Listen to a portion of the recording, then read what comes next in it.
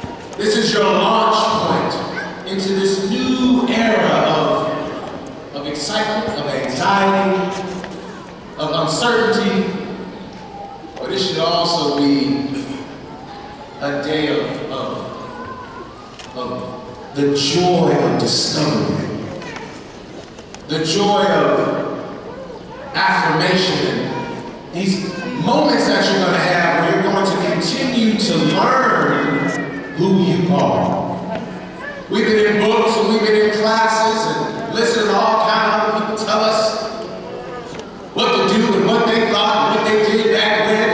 this theory and this theorem and this algorithm and this history, the battle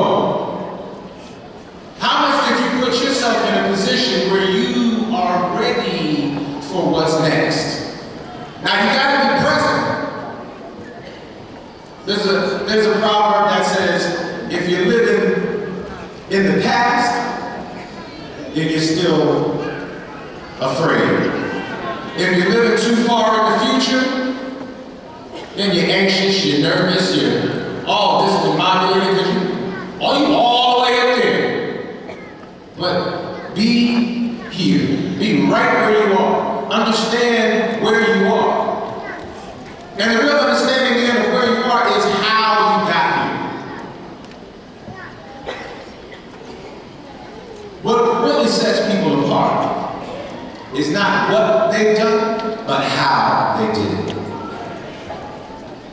So if you didn't walk out of here with good study habits, you were trouble. If you didn't walk out of here with an understanding of, of how to think for yourself, you're in trouble. If you're not ready to come out of here and speak up for yourself, to speak up for those who can't speak for themselves,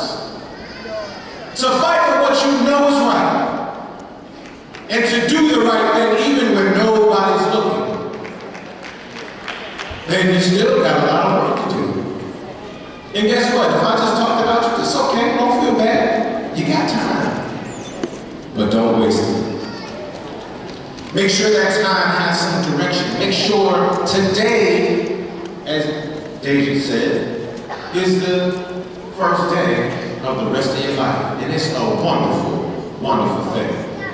But it will be what you make it. It's going to be a lot of things you don't control. We all know that, right? We get uh, more mature folks in here that can speak to them. I, you know, I don't like to say older, take that personally.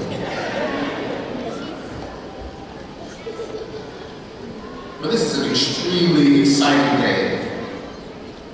I mean, even to be here, and first of all, thank you for allowing me to be here with you on this incredible day for you, to serve you.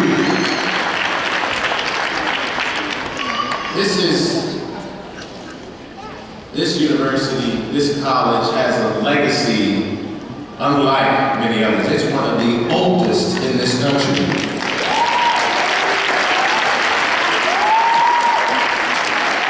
So we are literally sitting on hollow ground. This used to be against the law. Look at how many people in here. Look, look, look around. Look. This used to be against the law. Even if all we're talking about is leadership and opportunity and change, even though we're talking about love of the Lord, this would be against the law. If we had the audacity to come in this space together, we'd have to go outside to who knows what. Even having the courage to come out and come here, you know there would be consequence when you left, if you made it here at all. If these trees could talk, if this ground could really bleed upward with the blood that's been shed upon it.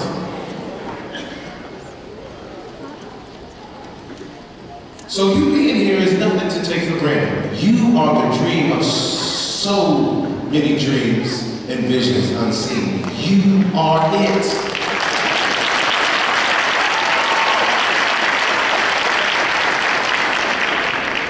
This is 2019, May 11th. May 22nd, 1917, Memphis. Y'all know that story? Of the lynchings that took place in Memphis in 1917 and 1918? That's what we'd be walking back out of these doors to. So when I say that these trees could talk, to take for granted not only education, but this quality of education. Y'all worried about probably coming in here looking good. I know it's a special day, but look good. Got to take that for granted. You know, everybody see it, your cap and gown and your scarves and your, you know, I see y'all with the eyelashes and all kinds of stuff. It's a lot. It's a lot. I see you. But what I really want you to be proud of today is that you represent so many people who've come before you.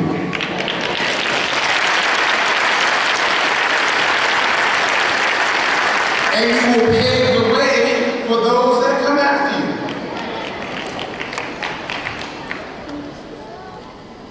So get ready.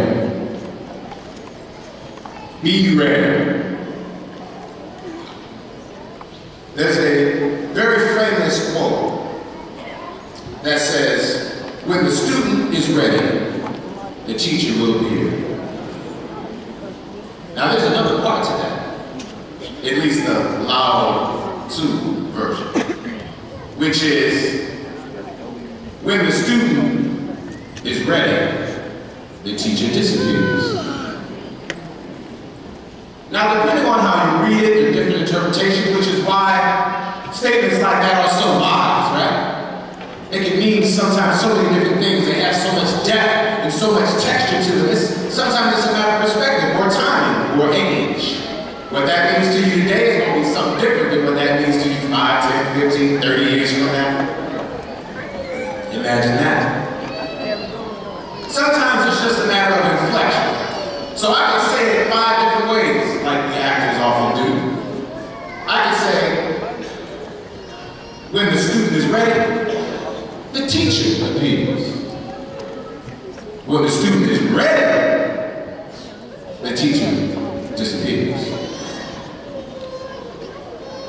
Now, for some of you, you probably think I'm talking about two different people. One of the ways I like to understand that is we're talking about one person. You've been a student. You will continue to be a student. So when the student is ready, the teacher appears. But then when the student is ready, the teacher disappears only because you become the teacher.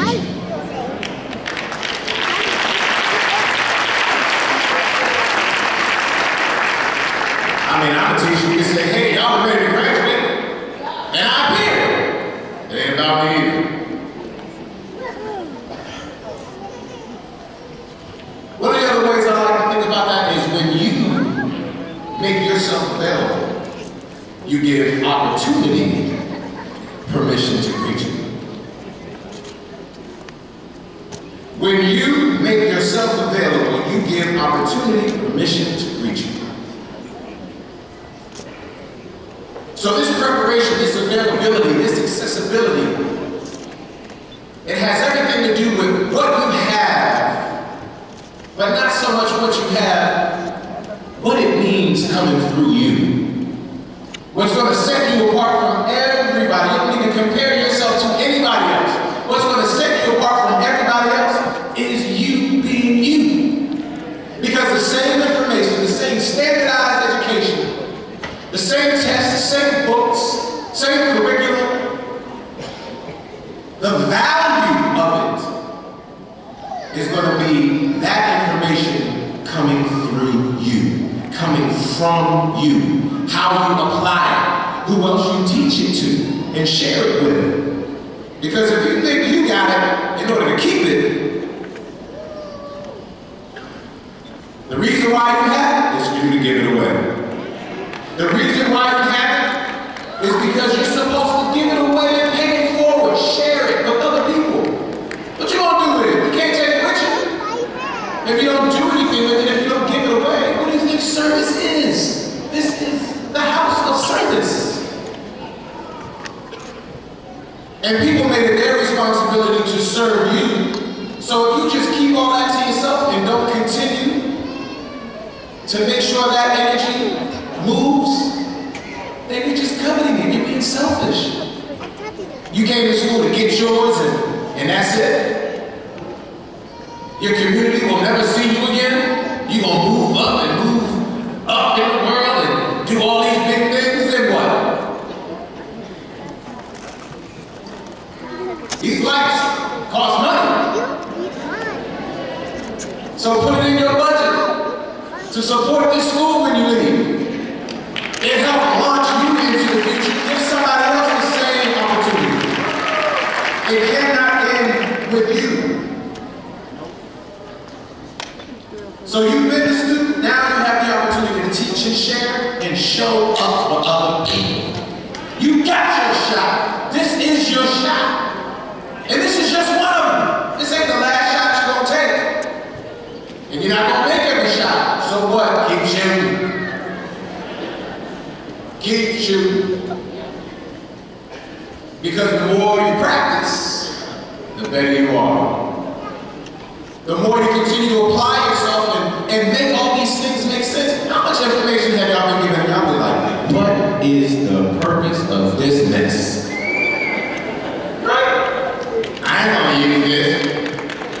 This don't mean nothing to me. But if you pay attention, you'd be surprised. Most of these folks know better than you. And they're giving you that information because they know it's relevant. You just don't know how yet. So receive it. Listen. Pay attention. Observe. Because so much of what you've learned is also to be taught. You're here to serve for the greater good. Don't, don't make it about you first and, and then later on, okay, yeah, later on, once I get once I get a whole bunch of money, then I'll start giving some back. Once I got all the information in the world, then I'll start sharing it with you. Don't, don't worry about what I'm doing over here. This is for me. Right? I know some of y'all do. Like, well, no, no, no. This is this is mine. Like little kid, mine. But it's not yours. It's not yours. We share it. We've all benefited from the contributions and sacrifices of others. It's now your opportunity to step it up. Your community needs you. Stay connected to it. Don't turn your back because people need you. Your brilliance, your strength, your creativity, your love, your power. To whom much is given, much is also required. You still got work to do. So you take a little like mini vacation and celebrate this incredible milestone and then get back to work. Don't be afraid to get back to work. I still have binders of old papers out there. All kind of, you know, my age a little bit. All the handouts we used to get. Handouts. Alright? We used to Xerox everything. But I keep that information because I still reference much of it. Now, of course, information changes and evolves, technology changes. One of my degrees is in information systems and computer science and technology. A lot of that stuff has changed, but the foundations of it are still very much the same. Everything is just built on top of that. So everything that you have right now is extremely important because what you do next gets built on top of it. So it's got to be a strong foundation. Sometimes you got to go back and repair it or rebuild it, reinforce it. I still got some of my old textbooks. It's relevant. Don't stop reading just because you're out of college. some of y'all probably refuse to pick up another book. But listen, like I said, they can give your eyes a break and get back to it. I still have a library card. Matter of fact, I got three of them because I live in three different states. I have a library card in each city and state that I live in, and I use it. So regardless of how much you think you're moving forward and moving on, make sure you hold on to the best of some of this old school foundational power because it will continue to serve you and in the position you can serve others. The work is much deeper than you think it is. It's not about the money you're going to make. I know some of y'all are excited about that. But think about this.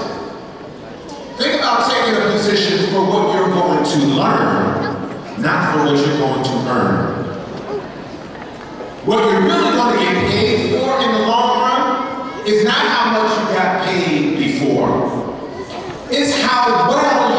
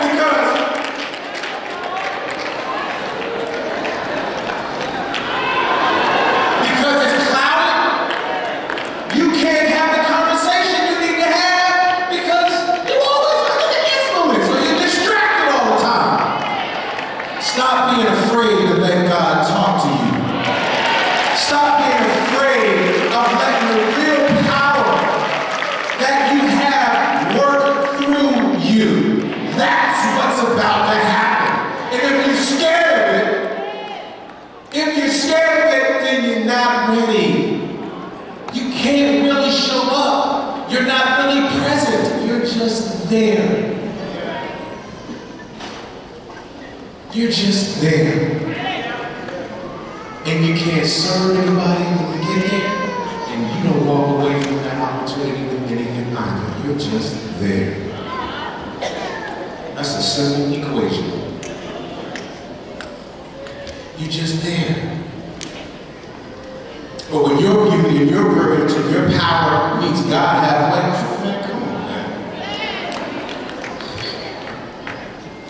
same I'm?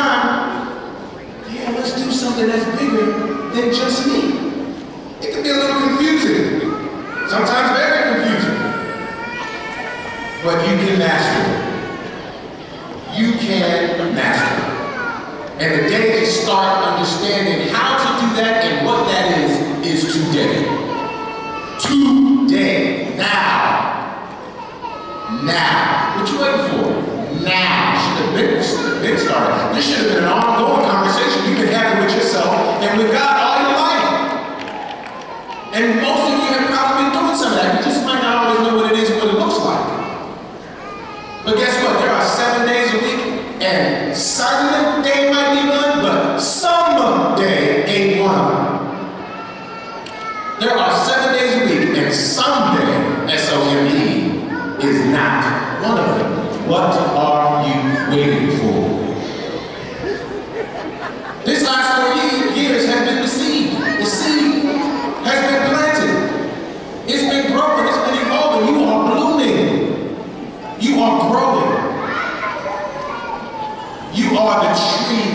extension of the roots that were here before you. You are strong. You have what it takes. You got people behind you. You got people underneath you. You got people above you. Your conscience is always working. So listen. Do the best you can every day to do the best you can. Nothing more can be asked of you. But if you just show up, you're wasting time. And you can't get that time. You can't get it back. You're worth the effort that you put in. It's as simple as that. Right? When you get out what you put in. Even when it comes to you personally, like self-maintenance, imagine if you just took one hour one hour a day to take care of yourself. To really do some real, honest, and sincere self-maintenance. And it can be a combination of things. Prayer, stretching, exercise, yoga, reading. And now on social media, reading. And not only reading things that come from people who look like you, because there's a whole bunch of other people and a whole bunch of other brilliance on the planet. God speaks to everybody. Learn about what's going on around you. Understand the other people. We always fight for inclusion, but we don't want to understand what's happening around us. You cannot compete globally if you're working in this tiny little space. But take some time for self-maintenance. I mean, one hour, one twenty-fourth of a day is what? Let's do the math. Less than five percent, right? So you're gonna tell me every day you're not even worth less than five percent of your day to invest in your own health and healing and wellness and power? The personal power is in you. God is in you asking you to do something profound. And it's not just going to be one thing. You're going to do incredible things all the time. Believe that, trust in that, be confident in that. Allow it to happen. Even when somebody doesn't say thank you, it's still the right thing to do. So put it all together. All these last two, three, four, five, six years, I don't know, there's probably some people coming out of here with advanced degrees as well. Put it all together. Find a way to make it all make sense because it's important. And when you put it all together, it all equals you and your brilliance and your beauty. That's what the world is waiting for. They're looking for you. We're waiting for you. We want you. We need you.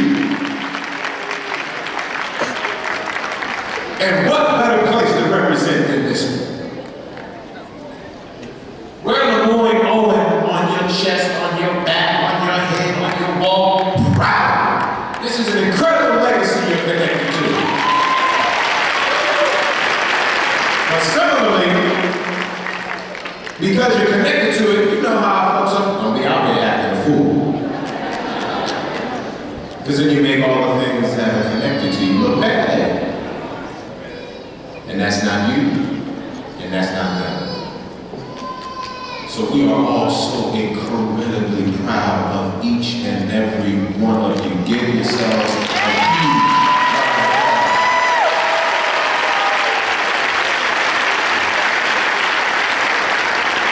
Even around the entire country, even across the world, there is a very select percentage of people that actually go to college, let alone actually graduate.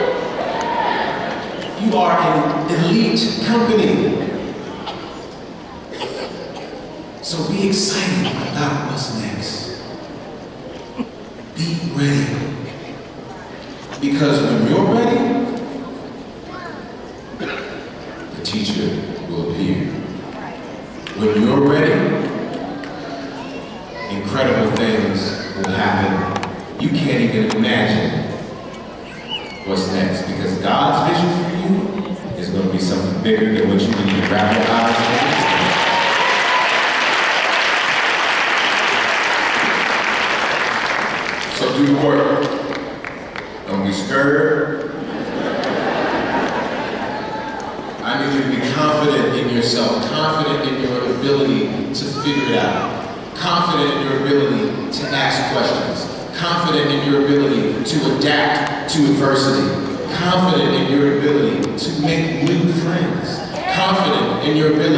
excelente barra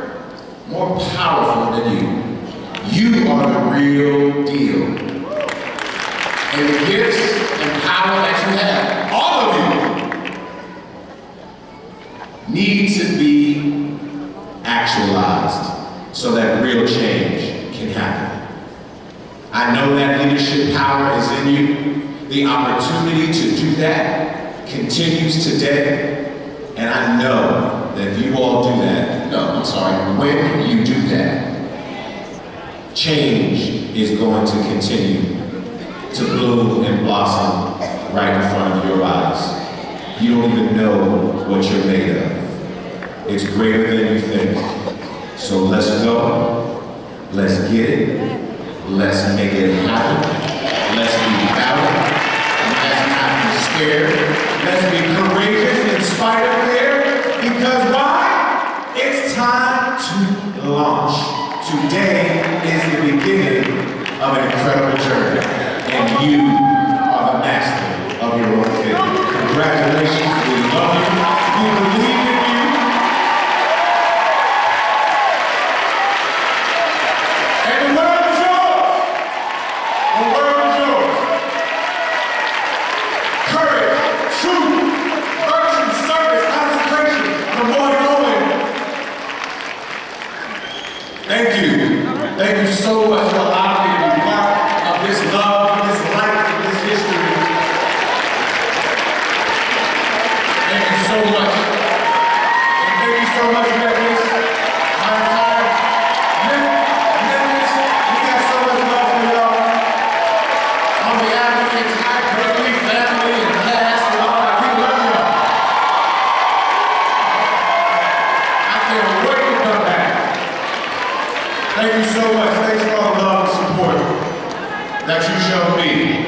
It was absolutely my honor to come back and serve you in return. I will see you again, all right? And I'll see y'all again. And when y'all see me, you better say what's up.